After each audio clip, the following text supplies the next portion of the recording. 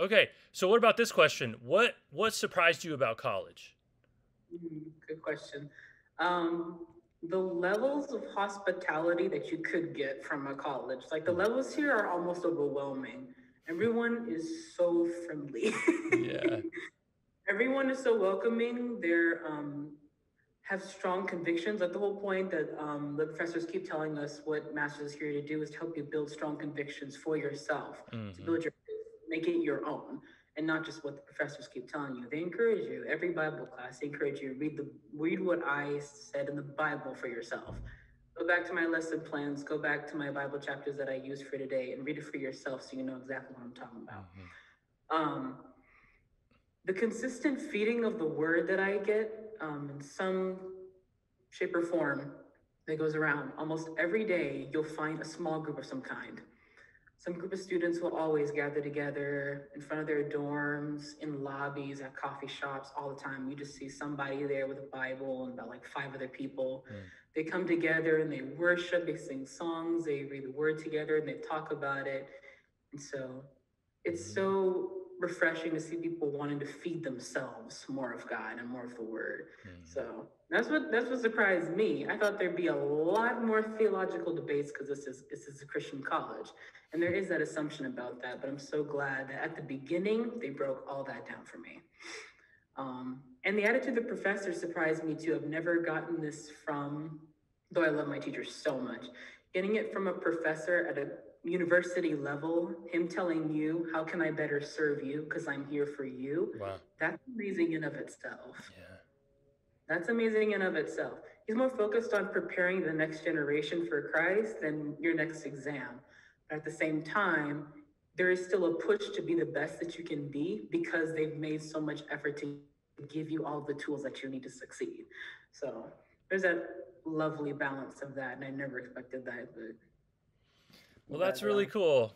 Um, you know, I think you just described uh, Christ likeness, and I think you know the more that the folks who are up here can you know put themselves under underneath, right, and lower themselves to serve and to um, love the people that they are serving. You know, that's that's such a cool thing. Um, may may every Christian learn from that and and experience what that's like. Um, okay, so um, put yourself. I mean, it's been it's been almost it was exactly a year uh, a year ago, uh, Monday, that we we closed the school down. Um, and you know, wow, a, a whole year has gone by, and and somehow the Lord has uh, helped us to find a way, you know, to keep our school open and um, to do chapels like this. Uh, but a uh, but a year and a week ago, we were in chapel, and we had um, I you know we started to reduce the numbers and things like that. We were you know worried about things and but whatnot. But uh, but put yourself back in in the stadium in the Sostrom uh, facility there, uh, the gym, and and at, pretend that I'm interviewing you right now, and we're standing out there, and you had just a few moments to talk to the kids, and just to share your heart with them. Like, what what would you say to them? What would be on your heart to say to the Berean students? Absolutely. Um, three main points. The first two are for the overall senior class. Um, the last one is for mainly like the music, my music peeps, and for those who um, even want to go down my specific track of audio production. So, the first one, I love this. Place God in the center, in front, behind, on the sides, and surrounding everything you do consult him in your list of colleges. You have to consult him because there's no better person Hmm. who can judge character than God. Yeah. No. His wisdom is centered on truth and spoken with love. And how, what better voice would you want consulting you than a voice like that? so remember your worship. Remember to worship God in all things that you do. Remember to get to give God the credit in all the things that you do. By giving God the credit, you understand that as a Christian, you understand who's Lord over your life Mm. more than yourself. Um, the God of the universe is the one who makes streams in the desert. He's the one who makes crooked paths straight, and he wants to withhold no good thing from you. Mm. He's the best person that you can go to for things like this. keep him at the forefront and you keep staying on the path that he wants you to. It's not always going to be easy. There's going to be bumps along the way. I can guarantee you that. But every time you go through a roller coaster like that, it's meant to strengthen, mold, and shape your character and the person that God needs you to be. Mm. So remember that. That's regardless of any discipline, any um, major that you go for, or any other college. Some people are called to secular universities. I didn't feel in my heart that I would be able to do something like that because that's like for me and how where my heart was in relationship with God. A lot of um, times people ask me to go to what about an HBCU, which is a historical Black college, and I responded in kind to the wonderful person who told me that. I said I would get culture shock going to an HBCU mm. because I have been so open to the people of the church, gathering with the saints, being around people who are like God. Going to a place like that would be almost culture shock for me, mm. just because of how much exposure I've gotten from other men and women of Christ. Mm. So there's that. The second thing, it's a broken record because it's true, and that is to never be afraid to make mistakes. There is going to be mistakes, guaranteed. Mistakes build experience. Hmm. That's why you need to go through them. You're not going to get much experience if you don't have a bit of backtrack, honestly. If some things come easy for you, there's not as much weight when you come out of it. There's not much like, it's more embedded in my system, it's more second nature. If there was struggle, you going through it. That's a lot of times why when you go and you accept and you're obedient to God's path, a lot of times there's struggle. Hmm. So when you come out of it, you remember exactly who brought you through it, why he brought you through it, and in comparison to where you are now to where you were when you first got in, that you look nothing like from what you've been through because of the struggles that you went through. So there is an actual good design to mistakes. Mm. So don't be afraid of them. Um, they mold and they shape your character. They add more layers to yourself. So you're not just the most uh, vulnerable part of yourself. There's more layers to you. You can build experience. Like I mentioned before, you build skills. Um, you build more discernment. You have more wisdom. You have knowledge. You can better judge the world around you under a new set of eyes because you've gone through a bit of struggle. So you mm-hmm. understand a bit more. Um, so treat them as learning moments. They're meant to help you learn. So treat them as learning moments.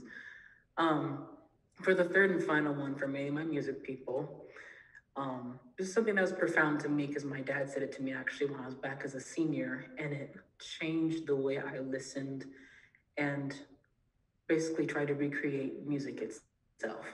And that is, you need to understand what exactly music is. Hmm. Music is an invention of heaven designed to glorify God. The voice itself is an invention of God, and it's the hmm. main tool he used in creation. If you think about how profound that is, that completely changes the way how you view your own voice and why it has so much power that death and life lie in the power of your own tongue. Mm. There's a reason. It comes full circle of you being made in the image and likeness of God.